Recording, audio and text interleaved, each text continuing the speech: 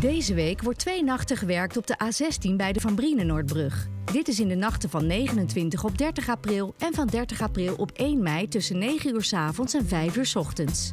Hierdoor is de parallelrijbaan van de Van Brienenoordbrug dicht in noordelijke richting. Ook zijn de afritten 24, 25 en 26 afgesloten. Het verkeer kan omrijden via afrit 27 bij Prins Alexander. Voor het doorgaande verkeer richting het noorden blijft de hoofdrijbaan van de A16 wel bereikbaar. Kijk voor meer informatie op rotterdamonderweg.nl/A16.